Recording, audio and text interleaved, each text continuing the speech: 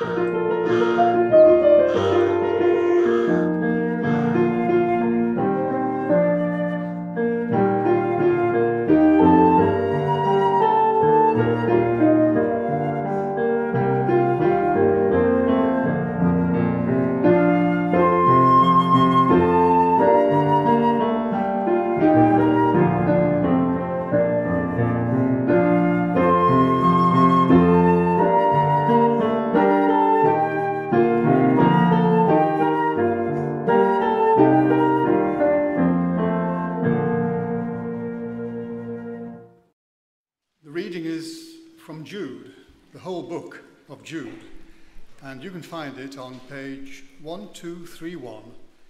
Church Bibles. Jude, verse 1. Jude, a servant of Jesus Christ and a brother of James, to those who have been called, who are loved by God the Father and kept by Jesus Christ. Mercy, peace, and love be yours in abundance. Dear friends, although I was very eager to write to you about the salvation we share, I felt I had to write and urge you to contend for the faith that was once for all entrusted to the saints. For certain men whose condemnation was written about long ago have secretly slipped in among you. They are godless men who change the grace of our Lord, of our God, into a license for immorality and deny Jesus Christ, our only sovereign and Lord. Though you already know all this, I want to remind you that the Lord delivered his people out of Egypt, but later destroyed those who did not believe. And the angels, who did not keep their positions of authority, but abandoned their own home, these he has kept in darkness, bound with everlasting chains for judgment on the great day. In a similar way, Sodom and Gomorrah and the surrounding towns gave themselves up to sexual immorality and perversion. They serve as an example of those who suffer the punishment of, of eternal fire. In the very same way, these dreamers pollute their own bodies, reject authority, and slander celestial beings. But even the archangel Michael, when he was disputing with the devil about the body of Moses, did not dare to bring a slanderous accusation against him, but said, The Lord rebuke you. Yet these men speak abusively against whatever they do not understand. And what things they do understand by instinct, like unreasoning animals, these are the very things that destroy them. Woe to them! They have taken the way of Cain. They have rushed for profit into Balaam's error. They have been destroyed in Korah's rebellion. These men are blemishes at your love feasts, eating with you without the slightest qualm, shepherds who feed only themselves. They are clouds without rain, blown along by the wind, autumn trees without fruit and uprooted, twice dead. They are wild waves of the sea, foaming up their shame, wandering stars for whom blackest darkness has been reserved forever. Enoch, the seventh from Adam, prophesied about them. See, the Lord is coming with thousands upon thousands of his holy ones to judge everyone and to convict all the ungodly of all the ungodly acts they have done in the ungodly way, and of all the harsh words ungodly sinners have spoken against him. These men are grumblers and fault finders. They follow their own evil desires. They boast about themselves and flatter others for their own advantage. But, dear friends, remember what the apostles of our Lord Jesus Christ foretold. They said to you, In the last times there will be scoffers who will follow their own ungodly desires. These are the men who divide you, who follow mere nat- natural instincts and do not have the Spirit. But you, dear friends, build yourselves up in your most holy faith and pray in the Holy Spirit. Keep yourselves in God's love as you wait for the mercy of our Lord Jesus Christ to bring you to eternal life. Be merciful to those who doubt, snatch others from the fire, and save them. To others, show mercy mixed with fear, hating even the clothing stained by corrupted flesh. To him who is able to keep you from falling and to present you before his glorious presence without fault and with great joy, to the only God, our Saviour, be glory, majesty, power, and authority through Jesus Christ our Lord, before all ages now and forevermore. Amen. This is the word of the Lord. Thanks be to God. John, thank you very much for that. Uh, do please keep that passage open, and you might or might not be encouraged by an outline of the sermon, which is at the back of the um, order of service on page 8. I like a, a quiet life. I am by nature a bit of a coward, uh, and I don't really enjoy confrontation. I'm not very good at arguing. In fact, I normally have the best answer to arguments about five or six hours after that confrontation has finally passed.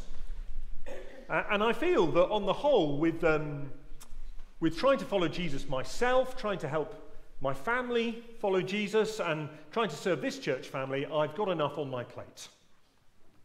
And all of that leads me to a sort of a default position, which is really to try and think of pretty much everything else as not really being my problem. I become an ostrich. Uh, of, I may be aware that there's something somewhere that isn't quite right, but I just pop my head in the sand and hope it all gloriously goes away. And the book of Jude, therefore, comes as a bit of a shock. It comes as a bit of a, a, bit of a kick, actually, to Rory. Uh, because it says part of following Jesus is being prepared to fight for the truth. I must, we must stand up and fight for the truth of the gospel. And not for the latest, um, not for the latest Christian fad, and not for my personal preference, although I find that a little bit easier, actually, if the truth be told. Uh, I'm quite happy to fight so I get my way. Not for that. Uh, not for the, the, the latest thing that is hot in the Christian world, but for the gospel. Jude is going to tell us that the gospel, the truth about how people are saved from hell through the death of Jesus Christ on the cross, is under threat, and that that is my problem, that that is your problem, that that is our problem, and that we must fight. Let me pray for us. Father, this is a profoundly unsettling um, message, and you know my heart. So I pray, please, that you'll have mercy on me uh, that you'll have mercy on us, and that we might hear you speak. Father, um, enable us to obey you, particularly in those areas where we are, where we're weak. Give us your spirit, I pray. Amen. Before Jude uh, calls us to do that, he gives us some really rather good news. And it's good news that Christians need to hear every day uh, of the week. And it's especially precious if, like me, you find the idea of fighting for the truth a little daunting. It's good news about our past, it's good news about our present, and it's good news about our future. Have a look down, please, at the second part of verse 1. To those who have been called, who are loved by God the Father and kept by Jesus Christ. Here are three lovely truths if you're a Christian. If you're a Christian, you are called, you are loved, and you are kept. To have been called, to have been chosen by God Himself. That's a powerful and precious thing, isn't it? We get a little hint of it. Um, we get a little hint of it w- with the whole World Cup stuff that's been going on. Inevitably, uh, at some point, we will have heard an interview with a footballer. Hello, Mr. Kane. Thank you very much for joining us. Tell us, how does it feel to have been called by Gareth Southgate to lead your country? They say things like, I'm humbled, shocked, delighted, proud, overwhelmed, all those kind of words. We'll get this. If you are trusting in Jesus, then the eternal, uncreated God has called you to be part of his kingdom. He has individually selected you to be part of his family. Not because you're good at football, not because you're splendid people with an impeccable moral track record, not even because he thinks you might be particularly promising with great potential that just needs a bit of development. No, he called you because choosing you brings glory to him for no other reason than because he's gracious. You're called into his family, you're uh, adopted into the rights and privileges of the King of Kings. You have been called. That's what happened when you turned to Jesus, when you repented of your sins, when you said, Lord, have mercy on me, you are called. And the good news keeps on coming. You were called, you are loved by God the Father. Just, just say that to yourself quietly now. I am loved by God the Father.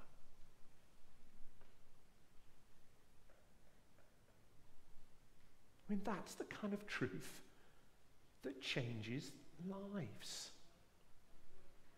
It's easy to gloss over that, I think. It's easy to, to sort of think, yeah, God loves me, that's what he's supposed to do, it's part of the deal, you know, it's his job. But let me challenge you. This week, before you swing your legs out of bed and into your slippers, say to yourself, I am loved by God the Father. Because if you're a Christian, that is true. And whether you feel very lovable or not, whether you've been good or not, even if no one else loves you, if you're a Christian, you are loved by God the Father. Today, the love of God enfolds you. Today, you can enjoy a, a, a relationship with your loving Heavenly Father. That is staggering, isn't it?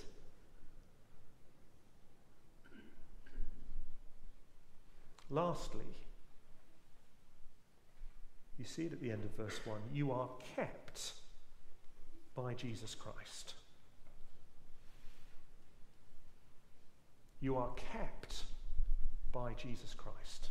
We sometimes sing, When I fear, my faith will fail. He will hold me fast. Jude is saying that is true. Who does the keeping?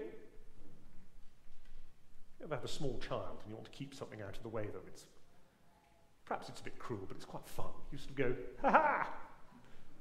They flop around down there going. Christian, you are kept by Jesus Christ, do you think anything will be able to snatch you out of his hand? I'm reading um, Mark's Gospel at the moment, chapter 5. It's quite a roller coaster. It's quite pacey, Mark. But here's the thing you see on every single page Jesus is more powerful than anything you care to mention. Mark is just sort of like parading these things. Evil spirits, Jesus is more powerful. Raging hurricane, Jesus is more powerful. Death, Jesus is more powerful. Sin, Jesus is more powerful. It's quite sort of intense. You're like, Mark, okay, okay, all right, steady on. We'll get this. The power of Jesus Christ, that power over sin, death, creation, sickness, is used to keep believers into eternity. That is astonishing, isn't it? That is profoundly good news, isn't it? He will hold me fast.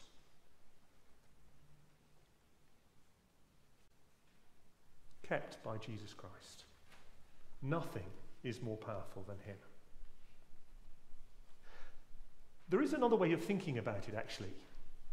And you'll see in the footnotes um, that actually it could be translated kept for Jesus Christ. You are given as a gift by God the Father to God the Son. How much of a treasured possession does that make you, do you think? I don't know if you've ever been best man. You've basically got two responsibilities, haven't you? There's the speech and there's the rings.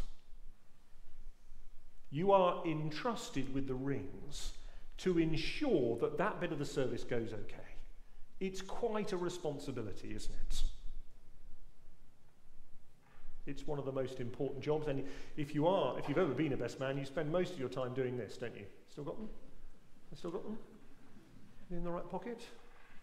And if you're, you know, mother of the bride, you spend most of your time going, has he still got them? Has he still got them? Is he in the right pocket? Now imagine that you, the Christian, are being kept to be presented to Jesus Christ on the last day, pure and spotless. Do you think that God the Father will allow anything to prevent, to prevent that gift being given to God the Son? Of course He won't. Of course He won't. There, my friends, is real security. There, my friends, is, is real joy. So, if that's the good news, and it's profoundly good news that you are loved, that you have been called, and that you will be kept, here's the bad news. Have a look at verse 4. For certain men, whose condemnation was written about long ago, have secretly slipped in among you. They are godless men who changed the grace of our God into a license for immorality and deny Jesus Christ, our only sovereign and Lord. The bad news is this there are false teachers in the church. Not everyone who claims to be a Christian teacher is really a Christian. You will know well enough that, um, that one of these doesn't make you a Christian. Standing behind a, a lectern at the front of a church building doesn't make you a Christian. Holding a Bible doesn't make you a Christian. Even being able to speak well is no guarantee that you're a Christian. False teachers look like me. They look like real Christian teachers. And that is why Jude warns his readers. If the people who, who are denying the gospel turned up at the churches that Jude is writing to and said, Hello, my name's Harry the Heretic, and I'm here to deny that Jesus is really God, they would have said, On your bike. They wouldn't have given them the time of day. But the bad news is that false teaching is so deadly because false teachers look like real teachers. They look like, they sound like the real thing. So be warned. What are these teachers like? Well, verse 4 is very stark, I think. They are godless men. Men without God, ungodly. See, it's possible to be polite, charming, friendly, personable, funny, kind, and godless.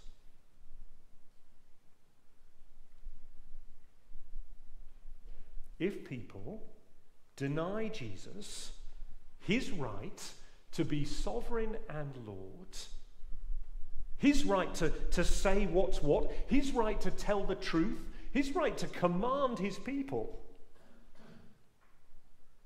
then they are godless.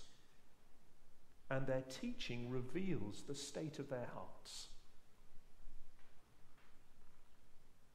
What's it Jesus says? He says, um, he says, figs don't grow on thorn trees, doesn't he?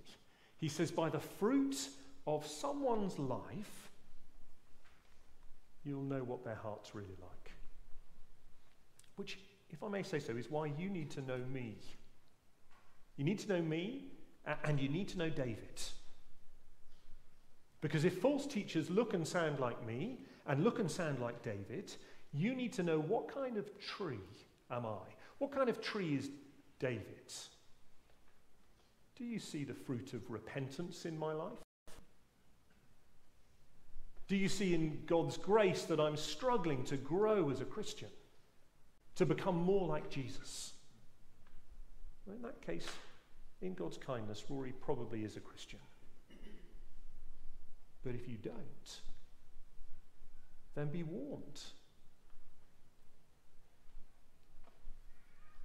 Where will we find these teachers? Well, again, the news is bad for us.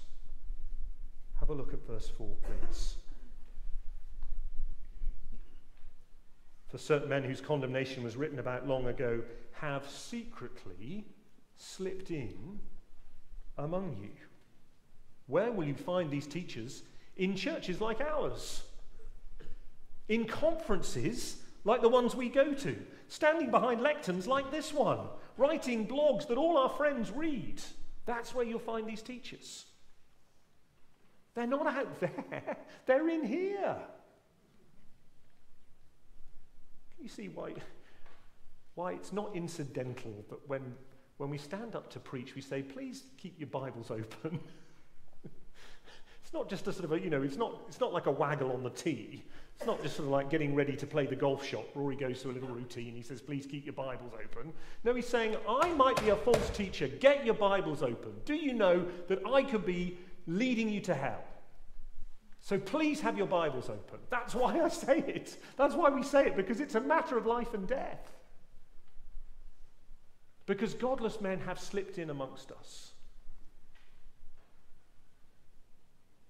I am I'm rather gullible, so I tend to believe everything I see written down. And being sort of apparently, according to my children, towards the top end of middle age, I now listen to Radio 4, and I believe almost everything that's said on Radio 4 as well. Um, because you know, quite a lot of it's true. They tell you the news, Today in Paris, this happened. Uh, President Biden met some, well, that's good. And then, of course, what happens? Well, now it's time for Thought for the Day. And so I think it's on radio. It's got to be true. Sometimes they have bishops on. It's bound to be true. And I'm eating my porridge and I'm nodding. And then I think, what? No. Really? I don't. Is that can that be? I'm sure you're more discerning than me, but it's very easy, isn't it? When you trust the medium and the person sounds nice, and just to be carried along with what you hear. My friends, false teachers are not out there, they're in here. And they're beamed directly into our lives and living rooms through the telly and the radio and the internet. I've always been helped by um, uh, something I've heard said uh, that Abraham Lincoln said, which was, of course, don't trust everything you read on the internet. what do these godless men teach? Well, I've touched on it already, but, but look down at verse 4. They're godless men who change the grace of our God into a license for immorality and deny Jesus Christ, our only sovereign and Lord. What do godless men teach? Well, they say stuff that sounds great. They say stuff like, in the end, love wins. They peddle what is, is sometimes known as cheap grace. An American theologian described their message like this they, A God without wrath brings men without sin into a kingdom without judgment through the ministrations of a Christ without a cross. Jude says they changed the grace of our God into a license for immorality and they deny Jesus Christ, our only sovereign and Lord. The grace of God, his undeserved mercy and favour on us, is the thing that causes sinful people to reorientate their lives, to turn around, uh, to turn their back on sin, to turn back to Christ, and to seek to live lives that by the, the, the Spirit's help honour Him. But the false teachers, they just twist that. They do what I find myself doing almost almost instinctively, and this, I guess, is the danger, they say, Do you know what? God loves me. And because He loves me, it doesn't matter what I do because He's going to forgive me. So I can just live as I want. Ever played Monopoly? If you've, if you've ever played Monopoly, basically there's one square on the board which sends you straight to jail. And as you're going round the board, you're thinking, I don't want to land on that square, I don't want to go to jail unless community chest has been kind and you have your get out of jail free card. Suddenly that square holds no fears for you. Just ignore it. Doesn't matter at all because you've got your get out of jail free card. That's the danger with twisting the grace of God we behave as if we have a get out of jail free card, and so it doesn't matter how I live.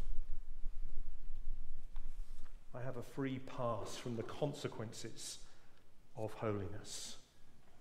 These godless men teach that the grace of God means there's no such thing as sin. God just approves and affirms us and wants us, in fact, to be our best selves.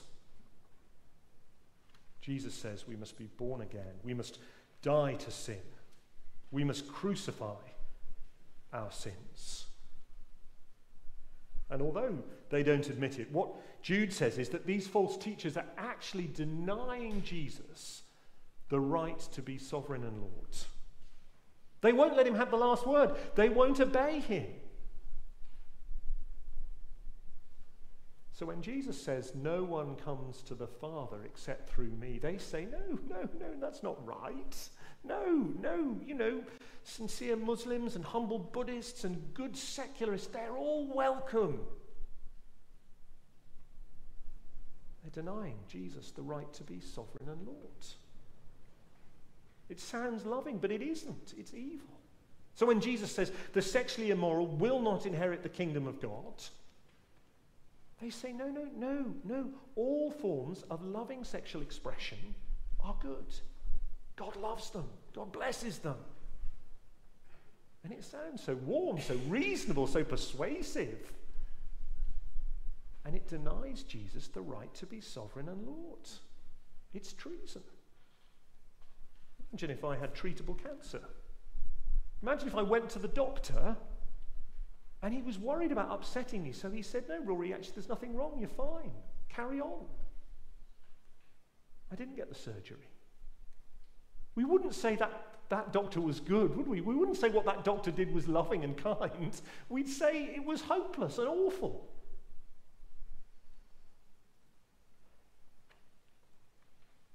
Hudson Taylor said, Jesus is either Lord of all or he's not Lord at all.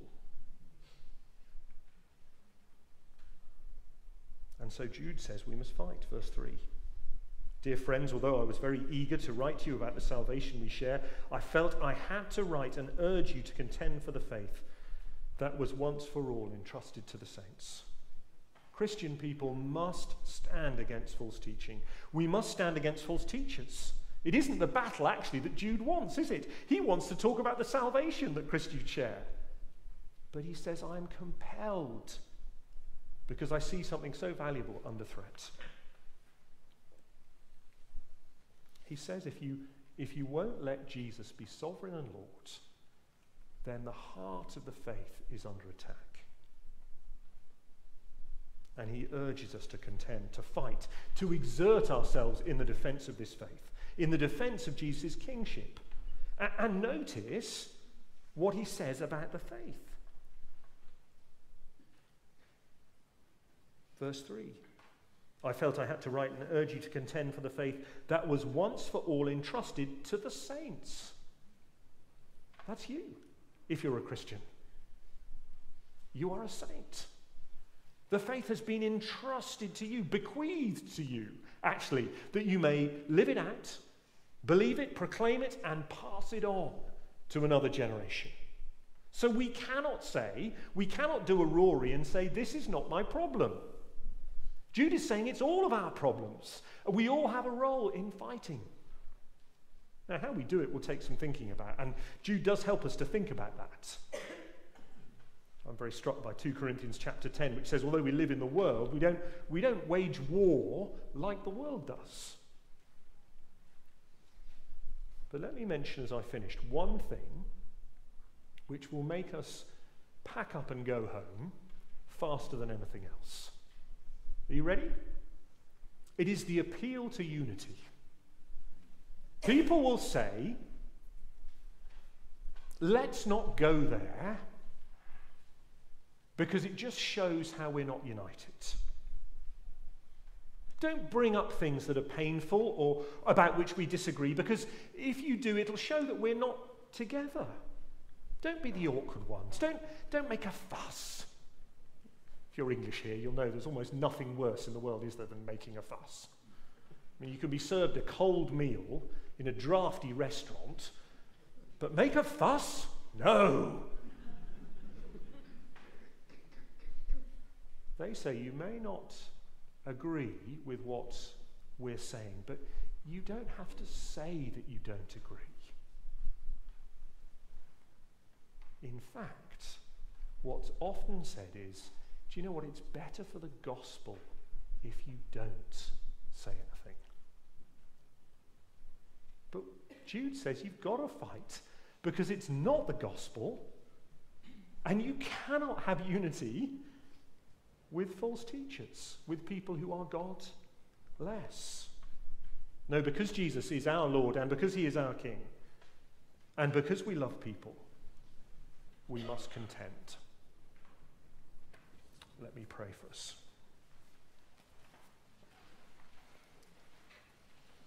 Oh Lord, we need your help, please, to be on our guard, to stand firm in the faith